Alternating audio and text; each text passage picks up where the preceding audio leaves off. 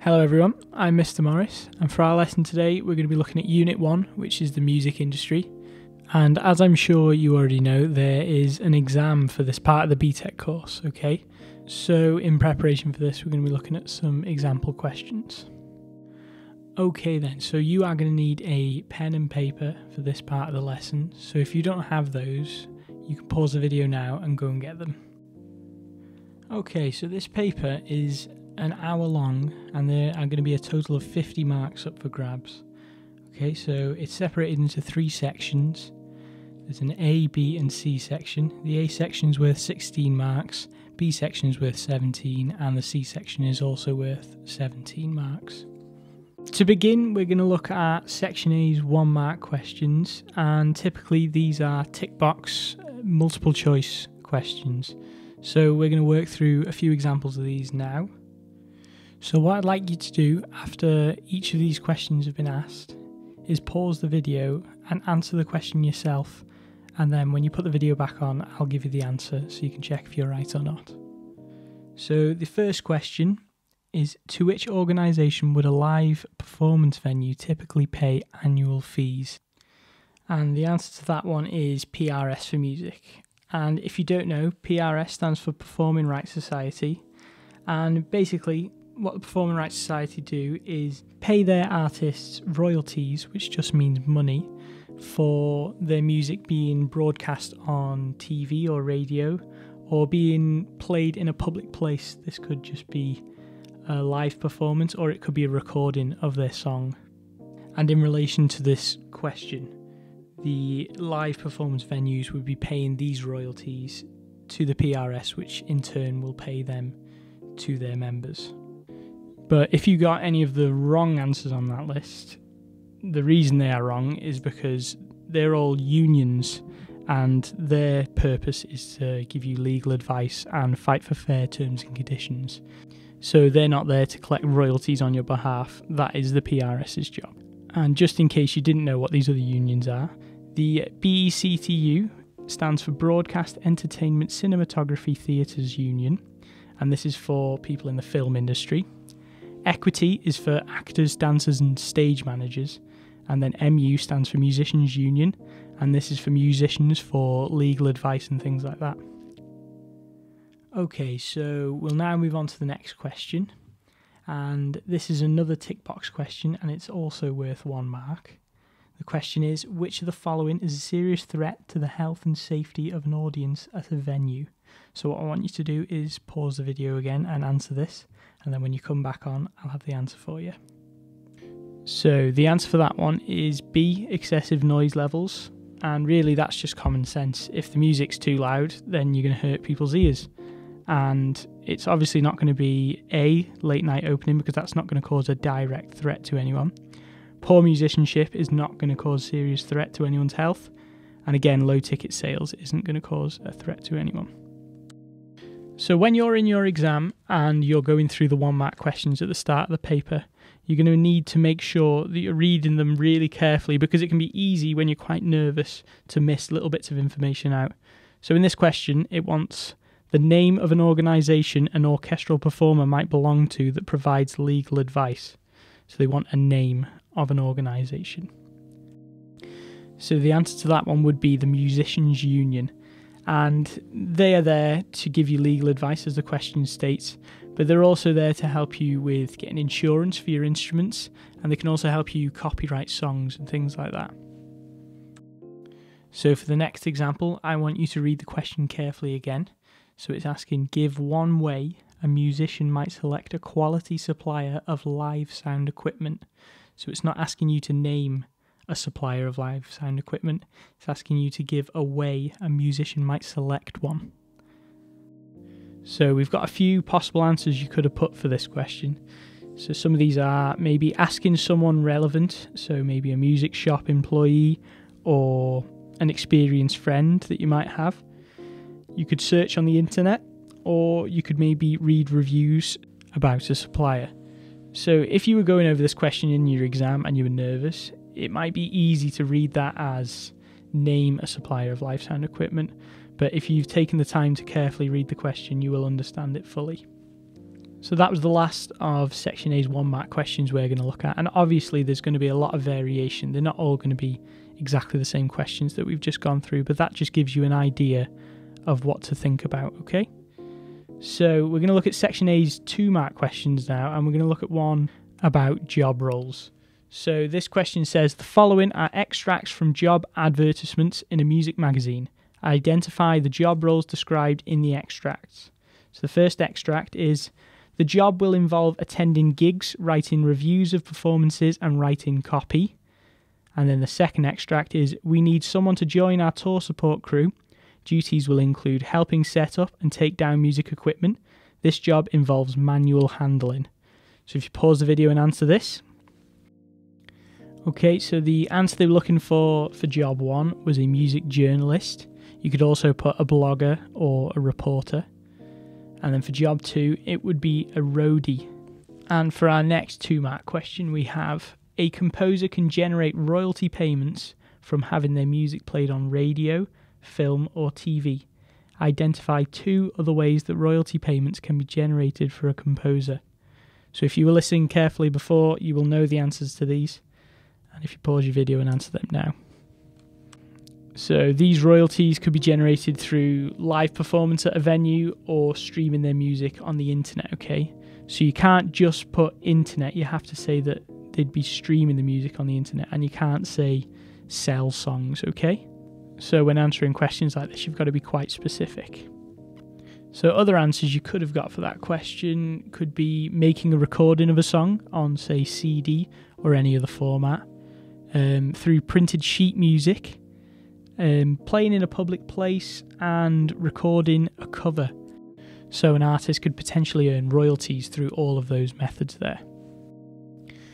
So towards the end of section A, you may get a question that is worth two marks, but only asks for one reason or one answer, okay?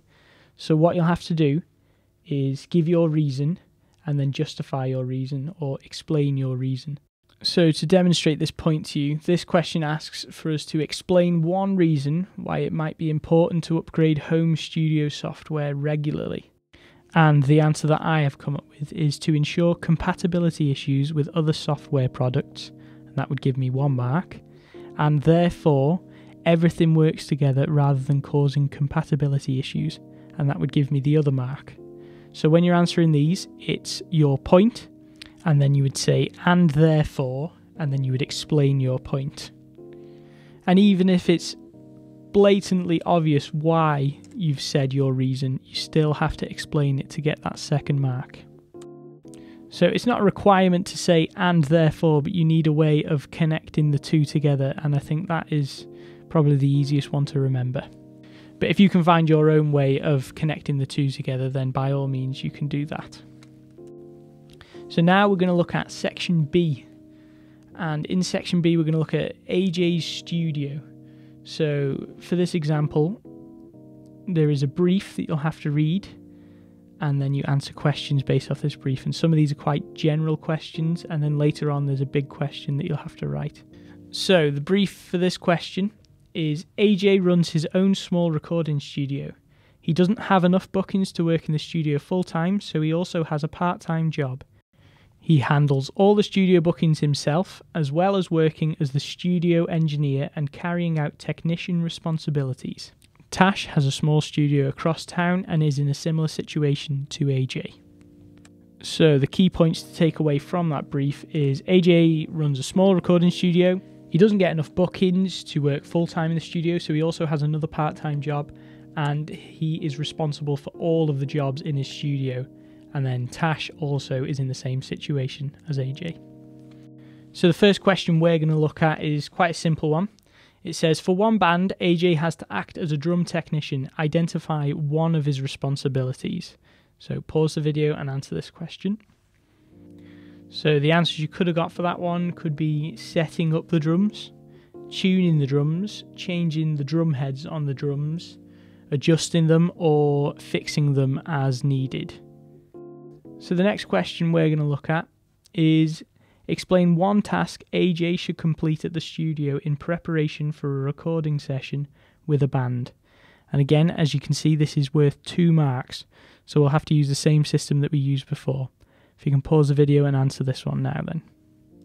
So my answer to this one is have all equipment, so leads, mics and everything like that, that he is likely to use, and therefore he doesn't waste time during the session looking for something.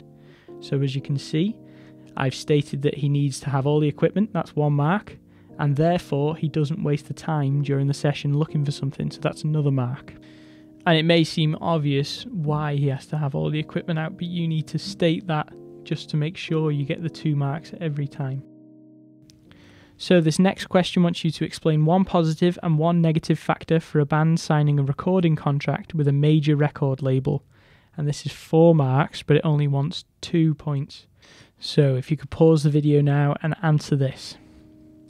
So, if you didn't notice, this is another one of our and therefore questions because although it's only asking for two points altogether, it wants four marks. So, you're going to have to explain each of the points.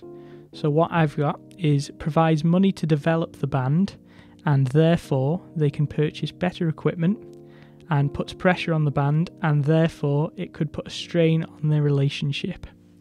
So, again, one mark for the point, one mark for the explanation of that point. So now we're going to look at the big question in section B, and this is an eight mark question. And the question that we have today is Tash has suggested joining together with AJ to form one larger studio. Both of them already have some bookings for the next six months. Evaluate whether it would be better for AJ and Tash to combine their businesses or to remain separate. So, in your actual exam, this is an example of what a question, an eight mark question, would look like. Alright, so it does look quite daunting because it's just loads of blank paper, but there is a way to make this a little bit easier for yourself. So, the first thing we're going to do is read the question really carefully because it says in this question evaluate whether it would be better for AJ and Tash to combine their businesses or to remain separate. So, it wants an evaluation of the positives and the negatives of them combining their businesses. So we're going to make a table like this, and we're going to put positives on one side and negatives on the other. And because it's eight marks, we're going to need four for each one because we want it to be balanced. We want four positives and four negatives. So what I want you to do now is pause this video, write down your four positives and four negatives, and then when you put the video back on, I'll explain what you're going to do with those. So hopefully you've now written down all of your positives and negatives. So here's an example of what you could have put. For positives, I have put can combine the bookings of the two studios to reduce downtime. They could combine studio resources, giving the studio a wider range of equipment. Um, so there's only one site, so it's cheaper for costs such as rent, rates, utilities, and things like that. And they've also got shared costs for cleaning and consumables. And then my last one is they both gain access to each other's clients, which will open wider opportunities for networking. And then my negatives for this one would be they may have a clash of pre existing bookings, and then alterations might annoy those already booked. They would have to compromise over choice of equipment and marketing direction, things like that. So they also would have less overall control over the output of the studio as the responsibility would be shared between the two of them. And if they both weren't making enough money separately, they may still only make half the money each if they were running this business together. So now we've got all our points broken down. We can't just put these straight into the question as bullet points because we'd only get, say, half the marks. So what we need to do is make this into full sentences. So we need to back up each of our points. So when you say something is an advantage, you've got to say why it's an advantage. And then you'd go you could either go through all of your advantages and then all of your negatives, or you could go positive, negative, positive, negative, and so on. And then at the end, you're going to need a conclusion that brings together everything you've said and then in that conclusion, you could give your opinion on whatever the question might be. So in this case, you'd give your opinion on whether or not they should combine their businesses. So now, what I want you to do is all that we've just talked about. I want you to put all of your little notes, so the positives and negatives, into full sentences that you back up. and then I want you to write all of that out and put a conclusion at the end with your opinion in. So pause this video now and give yourself about 15 minutes to write this question down. So I would like to see these written out for next time you're in school, so if you could bring those in with you, that would be great. So this is now the end of this part of the lesson. There is now a Kahoot for you to do that will have been sent to you in an email, and once you've completed that, that is the end of this lesson. So thank you very much and stay safe.